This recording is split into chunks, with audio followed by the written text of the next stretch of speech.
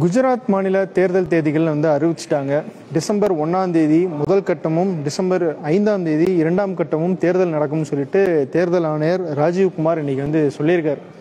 December எட்டாம் தேதி வாக்கு எண்ணிக்கை அதாவது முதல் கட்டத்தில் எண்பத்தி மூன்று தொகுதிகளிலும் ரெண்டாவது தொகு- ரெண்டாவது கட்டத்தில் தொண்ணூற்றி மூன்று தொகுதிகளிலும் வந்து தேர்தல் வந்து நடக்க போகுதா வந்து சொல்லியிருக்காங்க. ஆனால் இப்போ இதில் பிரச்சனை என்னன்னா இந்த தேர்தல் தேதி அறிவிக்கப்பட்ட நாள் அதுதான் வந்து பெரிய சர்ச்சையை ஏற்படுத்தியிருக்கு. அது என்ன சர்ச்சை? எதிர்கட்சிகள் என்ன குற்றச்சாட்டு வைக்கிறாங்க?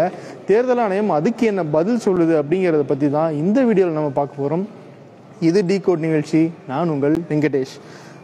எலெக்ஷன் கமிஷன் ஒரு சைடாக இருக்கா? பாஜகவுக்கு ஆதரவாக செயல்பட்டதா இந்த தேதி அறிவிப்பில் அப்படிங்கிறது தான் எதிர்க்கட்சிகள் வைக்கப்படுற ஒரு முக்கியமான குற்றச்சாட்டாக இருந்துகிட்டு இருக்கு. குறிப்பாக இமாச்சல பிரதேச தேர்தல் தேதி வந்து அக்டோபர் பன்னிரெண்டாம் தேதி அறிவிச்சிட்டாங்க.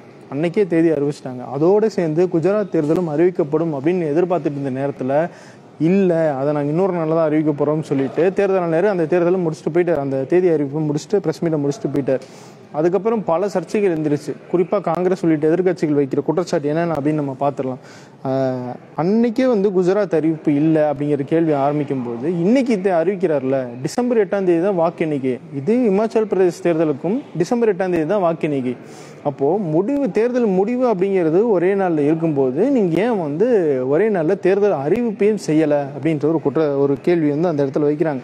அன்னைக்கு இமாச்சல பிரதேச தேர்தல் அந்த அறிவிப்பு வந்ததுக்கு அப்புறமா தான் பிரதமர் மோடி முழு மூச்சில் குஜராத்தில் சுற்றுப்பயணம் மேற்கொள்கிறாரு கிட்டத்தட்ட அந்த பத்து பதினைஞ்சு நாட்கள் கடந்த ஆறு நாட்கள் தொடர்ந்து குஜராத்திலே அவர் இருக்காரு. நிறைய திட்டங்களை வந்து அவர் தொடங்கி வைக்கிறாரு.